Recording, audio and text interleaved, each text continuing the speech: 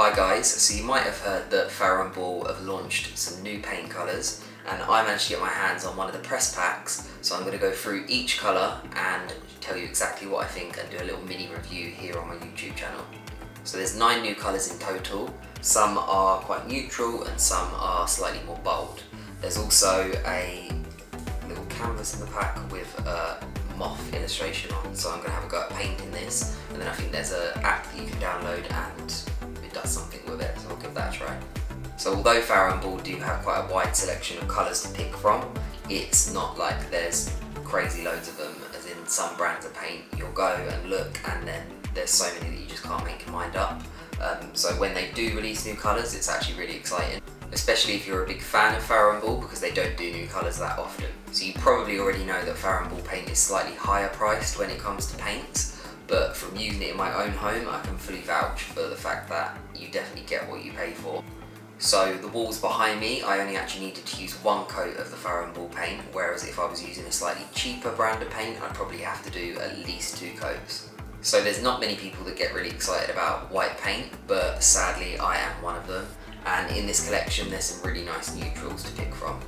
So there's definitely a move towards warmer colours in interiors at the moment and this goes for neutrals too. So we've got the Schoolhouse White. This is a slightly warmer off-white tone. So this is definitely a great base colour for your walls if you're looking to move away from something that's not the brilliant white and you just want something that's a little bit more sophisticated. So next up from the collection is Jitney, which is my personal favourite. Um, we're definitely seeing neutrals move more along to this kind of colour, which is a slightly more taupey tone. This colour would be perfect paired with the Schoolhouse White. I think you could use it in a room to pick out details such as skirting boards, doors, or anything you like really. So yeah, that is definitely my personal favourite. So the next one up is Treron, I think that's how you say it. Um, so green is still a really big trend at the moment, but this is perfect if you just want something that is slightly more subtle. So this is a much more neutral, greyish colour green.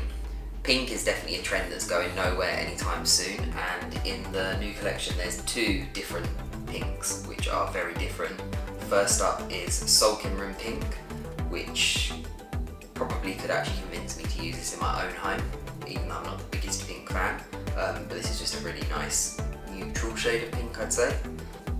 And then on the complete opposite end of the spectrum you've got Rangwali, that's another one I don't really know how you say it. Um, but this is a very vibrant, bold pink, slightly too in your face for me, but there's going to be people that will love this. Another one from the collection is Bancha, I think that's how you say it. This is quite a saturated olive green, I'd say. Um, it's kind of giving me mid-century vibes, but I quite like that. So yeah, like this one. Dark interiors are also really big at the moment, and one of Farrow & most popular colours is Railings, which is a real pitch black.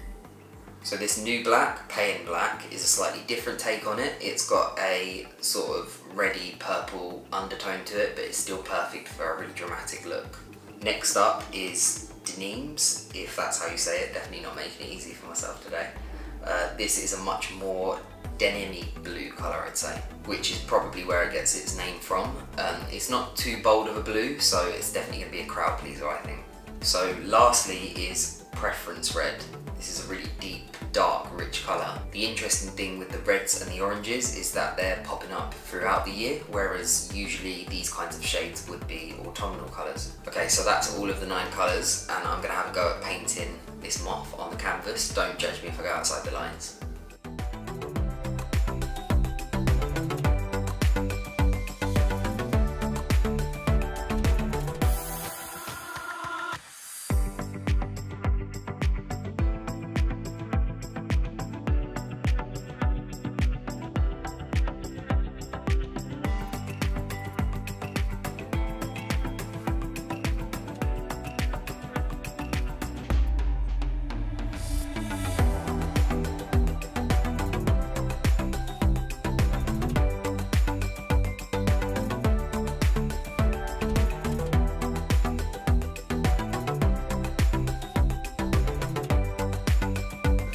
So thanks for watching.